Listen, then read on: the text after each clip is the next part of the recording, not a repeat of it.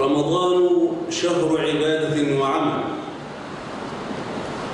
الحمد لله رب العالمين القائل في كتابه الكريم يا أيها الذين آمنوا كتب عليكم الصيام كما كتب على الذين من قبلكم لعلكم تتقون. وأشهد أن لا إله إلا الله وحده لا شريك له.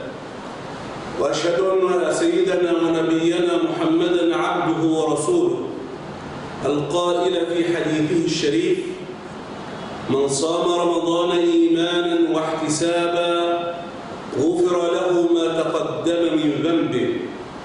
اللهم صل وسلم وبارك عليه وعلى آله وصحبه ومن تبعهم بإحسان إلى يوم الدين. وبعد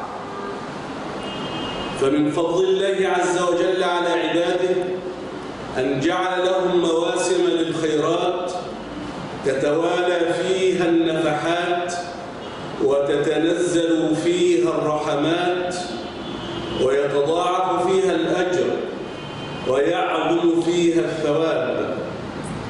يقول نبينا صلى الله عليه وسلم إن لربكم عز وجل نفحات فتعرضوا لها.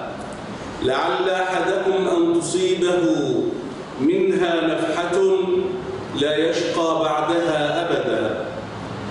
وإن من أعظم هذه المواسم شرفا وأكثرها بركة وفضلا شهر رمضان المبارك. سيد الشهور وأعظمها. وأيامه خير الأيام وأفضلها. ولياليه أصفى الليالي وأطهرها. ولقد كان النبي صلى الله عليه وسلم يستبشر بقدوم رمضان ويبشر أصحابه رضوان الله عليهم بهذه المنحة الربانية. فعن أبي هريرة رضي الله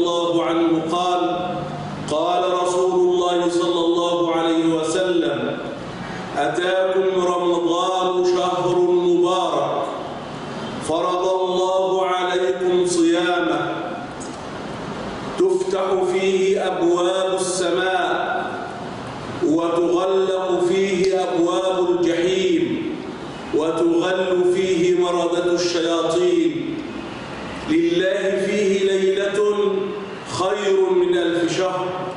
من حرم خيرها فقد حرم ولقد كان الصحابة رضوان الله عليهم يدعون الله تعالى أن يبلغهم رمضان وأن يعينهم على إحسان العمل فيه يقول ابن رجب رحمه الله لقد كان كثير من الصالحين رحمهم الله يدعون الله ستة أشهر أن يبلغهم شهر رمضان ثم يدعون الله ستة أشهر أن يتقبله منهم ويقول يحيى ابن, ابن أبي كثير كان من دعائهم اللهم سلمني إلى رمضان وسلم لي رمضان وتسلمه مني متقبلا وعن جابر بن عبد الله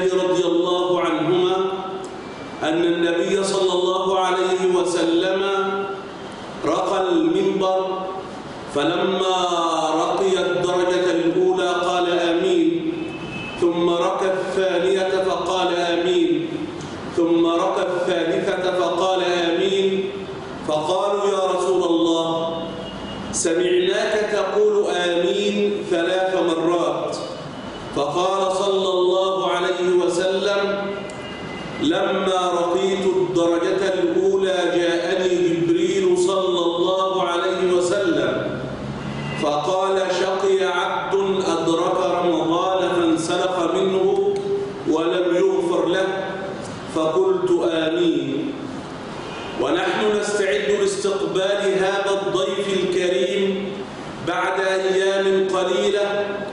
فعلينا أن نتأسى برسول الله صلى الله عليه وسلم وأصحابه الكرام ونقتدي بهم في عبادتهم وعملهم في هذا الشهر المبارك.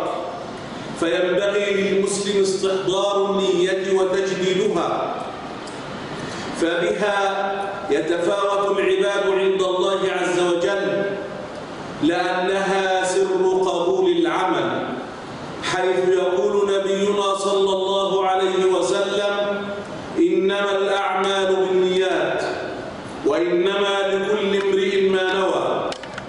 كانت هجرته إلى الله ورسوله فهجرته إلى الله ورسوله.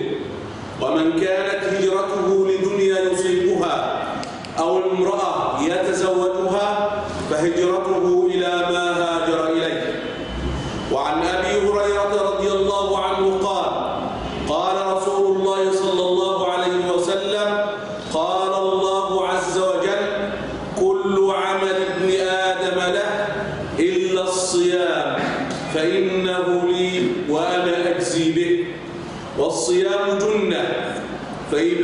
كان يوم صوم أحدكم فلا يرفث ولا يسخر فإن سيبه أحد أو قاتله فليقل إني امرئ صائم. والذي نفس محمد بيده لا خلوف فم الصائم أطيب عند الله.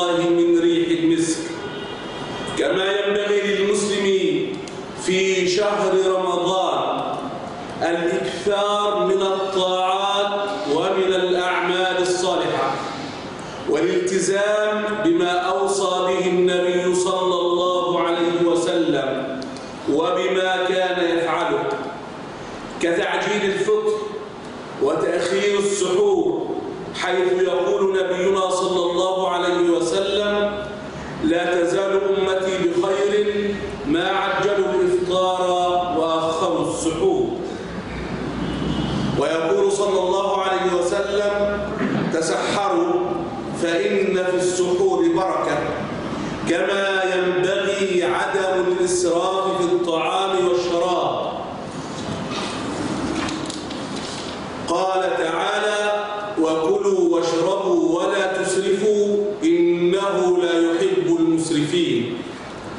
ويقول صلى الله عليه وسلم ما ملأ آدمي وعاء شرا من بطن.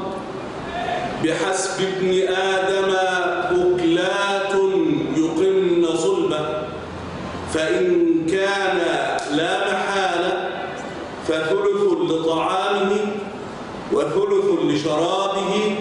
وثلث لنفسه. وما أجمل أن يستشعر الأغنياء حاجة الفقراء في هذا الشهر. فرمضان شهر الجود والكرم والعطاء. شهر يتجسد فيه معنى الرحمة والرأفة والعطف على اليتامى والأرامل والفقراء والمساكين بكل صور التكافل. فيكون ذلك سببا في إدخال الفرحة والسرور عليهم تأسيا برسول الله صلى الله عليه وسلم في كل أحواله. وخاصة في رمضان فعن ابن عباس رضي الله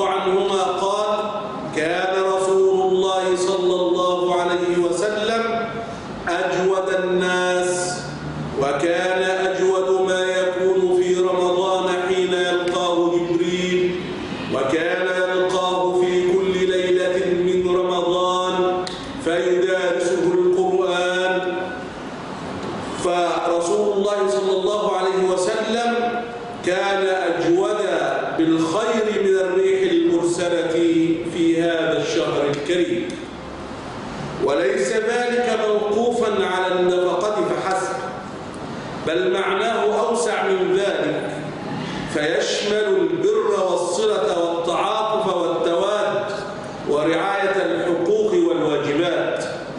كما ينبغي أن يحرص المسلم على كثرة العبادات كقراءة القرآن وتدبر معانيه وصلاة القيام حيث يقول نبينا صلى الله عليه وسلم من قام رمضان إيمانا واحتسابا غفر له ما تقدم من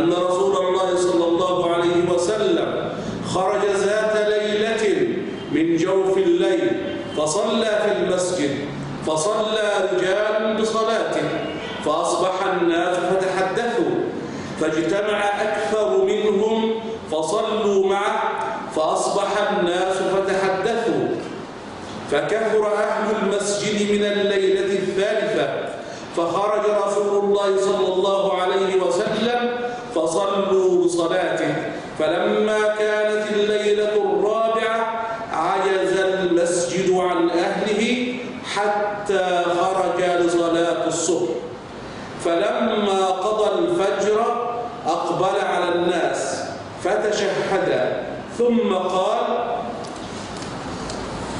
أما بعد فإنه لم يخف علي مكانكم لكني خشيت أن تفرض عليكم فتعجزوا عنها.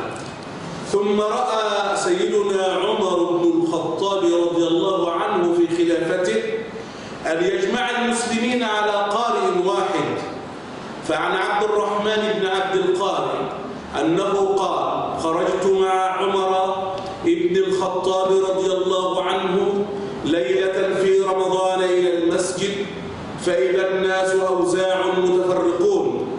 يصلي الرجل لنفسه ويصلي الرجل فيصلي بصلاته الرهط. فقال سيدنا عمر رضي الله عنه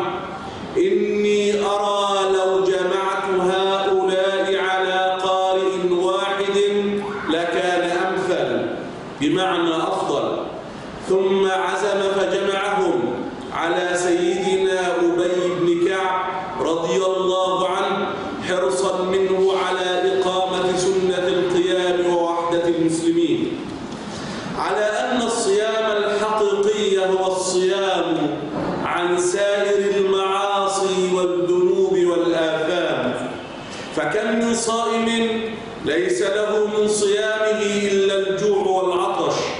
يقول صلى الله عليه وسلم رب صائم حظه من صيامه الجوع والعطش ورب قائم حظه من قيامه السهر.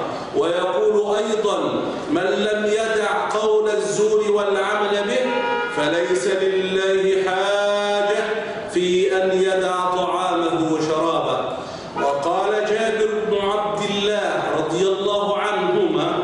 إذا صمت فليصم سمعك وبصرك ولسانك عن الكذب وعن المحارم ودع أذى الخادم وليكن عليك وقار وسكينة يوم صيامك ولا تجعل يوم فطرك وصومك سواء فليحرص المسلم أن يكون صومه صوما حقيقيا حتى تتحقق الثمرة المرجوة من صيامه وهي تقوى الله عز وجل. وعلينا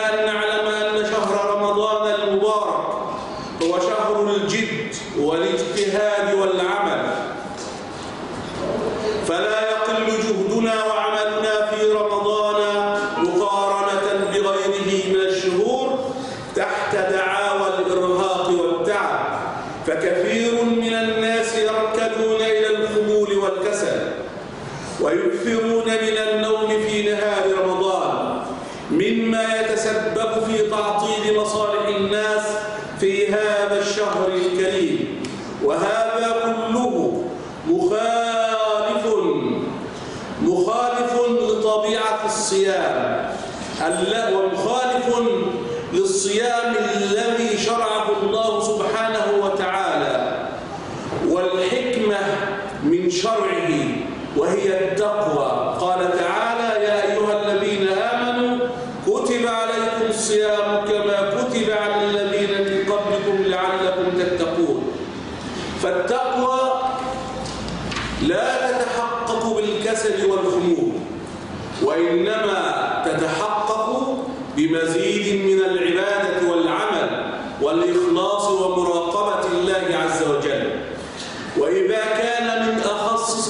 الصاد هي المراقبة لله عز وجل. فإن ذلك يقتضي مراقبة الله عز وجل في الوفاء بحق العمل. فالذي يراقب صلاتك وصيامك وإمساكك عن الطعام والشراب هو هو من يراقب وفاءك بحق العمل أو تفلتك منه وتقصيرك في حقه. وإذا كان من أهم ما يجب أن يحرص عليه الصائم أكل الحلال واستجابة الدعاء فعليه أن يدرك أنه إذا أخذ الأجر ولم يؤد حق العمل فإنه إنما يأكل سحتا وحراما لأنه يكون قد أخذ أجرا بلا عمل أو أخل بالعقد والعهد والشروط التي يتطلبها العمل سواء أكان ذلك عملا حكوميا أم خاصا أقول قولي هذا وأستغفر الله لي ولكم الحمد لله رب العالمين وأشهد أن لا إله إلا الله وحده لا شريك له وأشهد أن سيدنا ونبينا محمدا عبده ورسوله اللهم صل وسلم وبارك عليه وعلى آله وصحبه أجمعين ومن تبعهم بإحسان إلى يوم الدين إخوة الإسلام إن العمل والعبادة صنوان فالعبادة عمل والعمل الخالص لوجه الله تعالى عبادة لا ينفصل أحدهما عن الآخر قال تعالى وقل اعملوا فسيرى الله عملكم ورسوله والمؤمنون وستردون إلى عالم الغيب والشهادة فينبئكم بما كنتم تعملون والمتأمل في سيرة النبي صلى الله عليه وسلم وسيرة صحابته الكرام من بعده وفي التاريخ الإسلامي كله يرى أن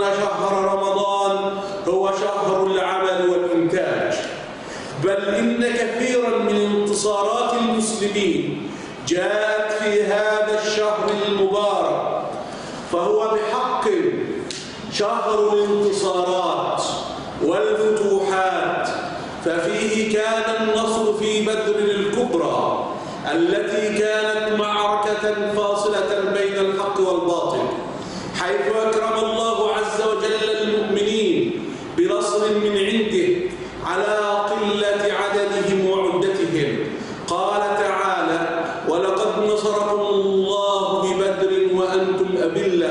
فاتقوا الله لعلكم تشكرون.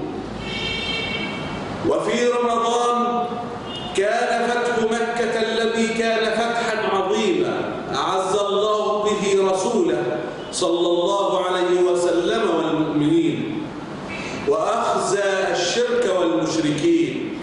وفي العصر الحديث كان انتصار العاشر من رمضان السادس من أكتوبر الذي وفق الله مصر به أن استعادت أرضها وكرامتها وكان شعار الجندي المصري الله أكبر مع الصيام والقيام والقرآن والدعاء الصادق فكان النصر المبين وطرد المعتدين دفاعا عن